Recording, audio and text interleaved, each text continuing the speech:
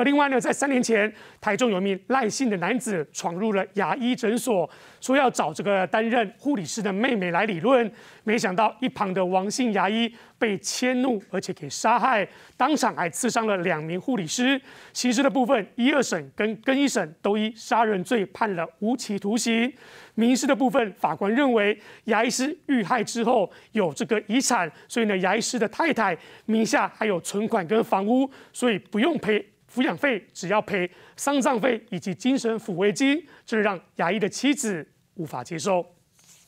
三年前，赖姓男子持刀闯进牙医诊所，要找护理师妹妹，找不到人，一气之下刺杀王姓牙医师，两名护理人员也受伤。刑事部分经过一审、二审跟一审，赖姓嫌犯被判处无期徒刑，但家属无法接受。现在王姓医师离癌妻子民事求偿的五百四十七万抚养费，法官也判不用赔，原因是王姓医师留下四百万保险金和遗产，而且遗孀名下有百万存款和土地房。王医师他在年轻的时候白手起家，去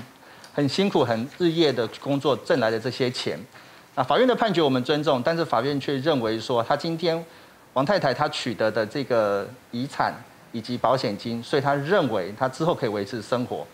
这样的见解，我们认为有待商榷。王新牙医死后留下离癌的妻子和一对儿女，还有年迈双亲。原本他和四名被害家属求偿一千八百六十五万多元，其中的五百四十七万是他的抚养费和医疗费，但法官却因为他拿到先生的保险费遗产，就判不用赔偿，很不合理啊！因为这些钱，如果这些钱是王医师、王太太他们在年轻的时候打拼下来的。是靠他们自己的努力杀人偿命嘛？那你没办法偿命，你可能就是要赔偿。那不是导果为因吗？这个逻辑上，我们觉得是有待商榷，也跟人民的法感情是有有这个冲突的地方。两名受伤护理师分别获判两百七十三万和四十九万，王家只有丧葬费和四人的精神抚慰金，共六百五十七万多元。失去亲人的痛还没有抚平，又面对这样的判定结果，律师决定再提上诉。记者杨洋吉富丽家台中报道。